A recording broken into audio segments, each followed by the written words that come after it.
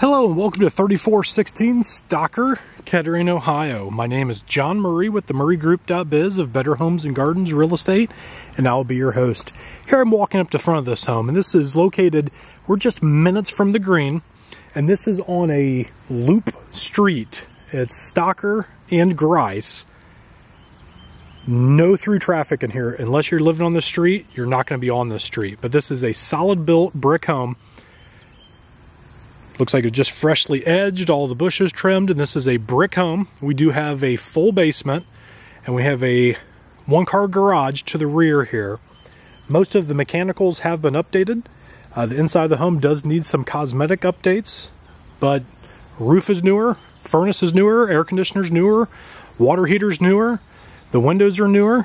So mechanically, this is all set to go. We just need your finishing touches